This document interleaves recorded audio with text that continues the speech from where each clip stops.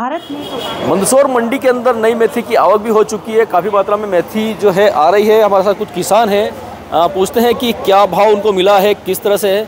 कहाँ से आए हैं आप सर खिलचीपुरा से। खिलचीपुरा से। क्या लेके आए थे? मेथी लगाया था। बिक गई आप लोगों की। हाँ बिक गई। क्या भाव बिकी है? पचपन सौ इकतालीस। पचपन सौ इकतालीस। ठीक है भाव क्या लगता है? ठीक है बाकी कमी है। पचपन सौ मेथी यानी छः आठ हज़ार करीब। आठ हज़ार करीब होना चाहिए। जी।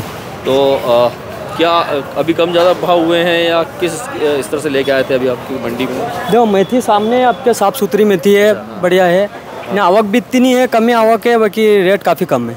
रेट काफ़ी कम है। जी। आ, क्या पचपन सौ कितना गया आपका? पचपन सौ इकतालीस। पचपन सौ इकतालीस। जी। दादा आप कहाँ से आए? पाया खेड़ी पाया खेड़ी श्यामपुर के पास। कयामपुर के पास में। तो बिक गई आपकी मेथी? तो क्या नई मेथी लेके आए हैं।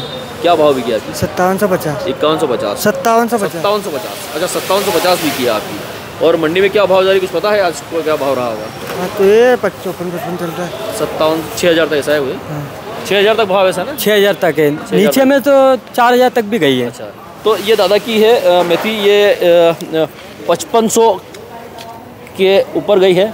दिखाना भैया। ये पचपन सौ इकतालीस की जो है ये भाव मेथी का ये ढेर बिका है और हमारे साथ में आपका कौन सा है? ये वाला है? ये थोड़ा सा अ, बोल्ड दाना है और सत्तावन सौ रुपये तक ये जो मेथी है ये गई है। अ,